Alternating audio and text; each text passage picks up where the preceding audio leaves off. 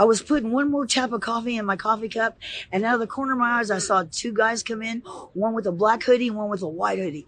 And the guy with the black hoodie said, "We want your money, everybody up front and down." And I'm like, "Oh, why did I need coffee now?" And so the guy in the black starts coming down and I'm like, don't look, don't look, don't look. So I'm putting my hair down, you know, and he comes right to me and he goes, get down now. And I go, yes, sir. And I just drop to my knees, see my little knee. And, and then when I'm on my knees, I'm backing up, backing up, backing up, backing up, backing up, backing up. Cause my daddy taught me good and I'm backing the hell out of there. And then when I figure I'm safe, I'm like counting to 2000 and I don't hear nothing, nothing. Then I hear, boom, boom, boom. And I'm like, oh my God. So I back farther and farther away. And I think maybe I should faint, but I don't. And so then I'm thinking, count to 2000 again. So I did. And then I go, me amigos, me amigos. Nobody said nothing. I'm like, oh my God, they're dead. I'm like, I'm going to have to find all my friends dead.